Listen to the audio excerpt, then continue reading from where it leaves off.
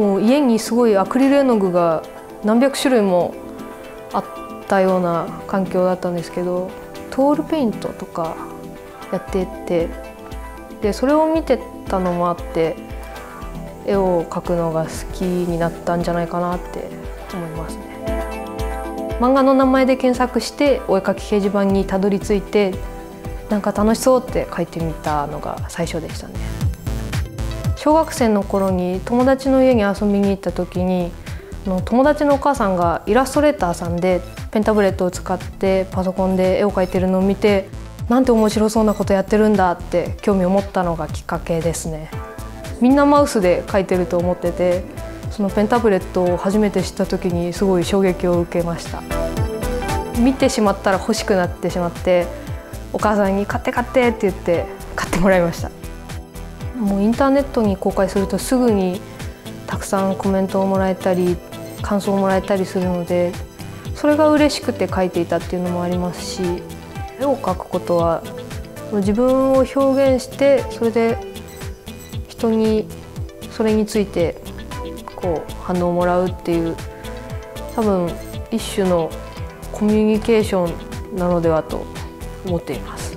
たまに自分では思いもよらないほどたくさんの反応が返ってきたりするのでそういう時はやっぱりすごく嬉しいし自分がここ見どころだなって思いながら書いてるところに「ここがいいですね」とかって反応もらえたりするともう「やった!」って「よっしゃ!」って思います 好きなものを見てる時にあこれ可愛いな好きだなって綺麗だなって思ってるとこういうの自分でも描けるようになりたいなって思うことがあって例えばその好きなアイドルのミュージックビデオ見ててあこの瞬間可愛いいって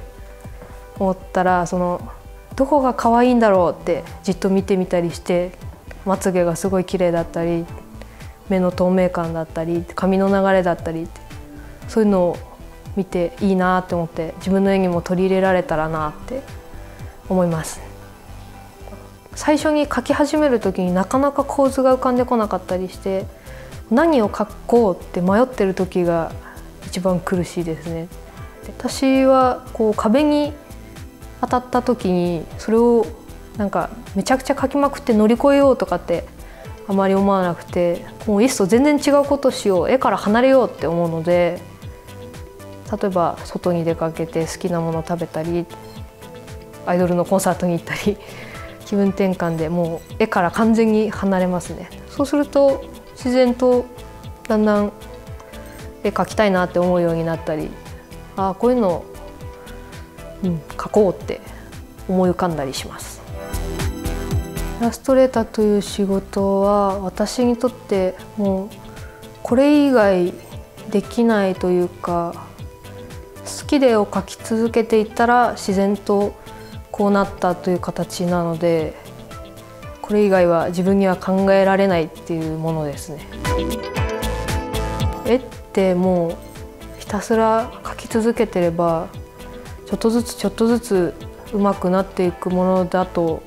思うので描き続けてほしいですね。